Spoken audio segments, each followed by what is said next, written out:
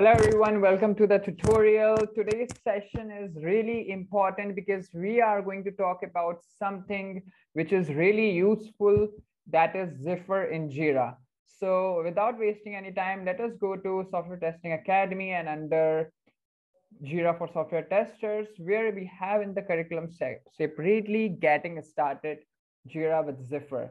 So see, ultimately Zephyr, you know, is like a backbone for testers in Jira because Zephyr is something which completely manage the test management.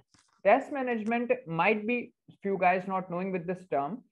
Test management means covering whole test activities or practices like writing test cases, executing test cases.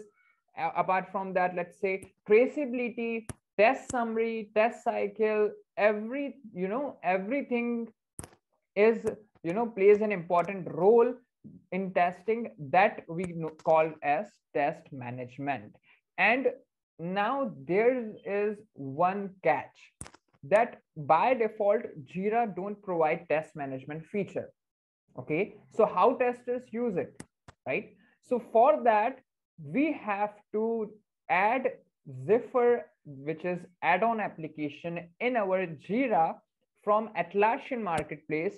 And after that, we can do complete test management in Jira.